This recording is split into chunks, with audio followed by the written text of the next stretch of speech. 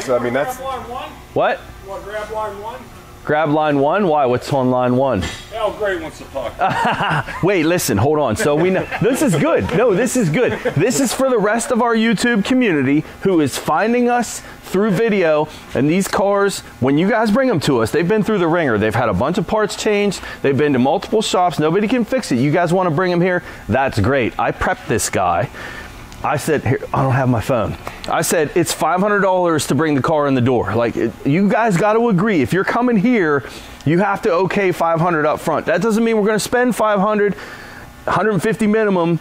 It might be, the last one we built out was 300, but we need that okay because these cars have become money losers, not money makers, and it shouldn't be like that. This is a specialty shop.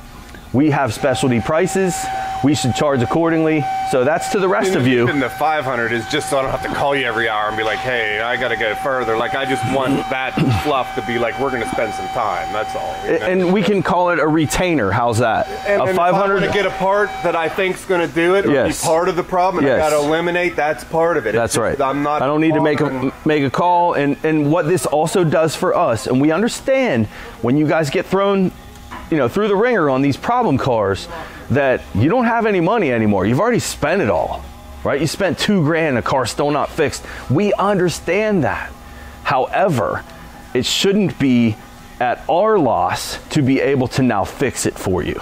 Okay? It just can't be. These cars, there's no reason my brother or any other technician in this field who specializes in diagnostic work should want to do ball joints and, and brake work because it pays them more than this stuff. That's ridiculous and that needs to change. The other thing, as we're talking about that situation, that $500 retainer, what this does for my brother is this will weed out the ones that think that diagnostics are easy and it shouldn't be very much because you've already spent all of this money. And what you what a lot of people don't understand is when parts get replaced and the car is not fixed, in a lot of circumstances, new problems have been built into that car with those new parts because a lot of parts people get from eBay, from Amazon, internet crap parts, and even in, at our local stores, AutoZone and and um, uh, Advance Auto and Napa and O'Reilly, all of those places since COVID,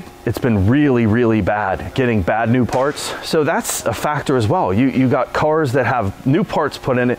People want to come and they think, well, it's going to be real cheap now. These guys are going to fix it. No, it's not going to be cheap. That may sound arrogant to some who've just stumbled upon this. I'm speaking from a technician and garage owner standpoint as I watch my brother struggle with these cars, not fixing them, he fixes every single one. Watching him struggle to make money off of these cars for his specialty is BS. It shouldn't happen. Caleb and I, what we do, the camera pays us. So I'm not even talking about money in my own pocket here. I'm talking about all my garage owner friends who can do troubleshooting, charge accordingly for this stuff.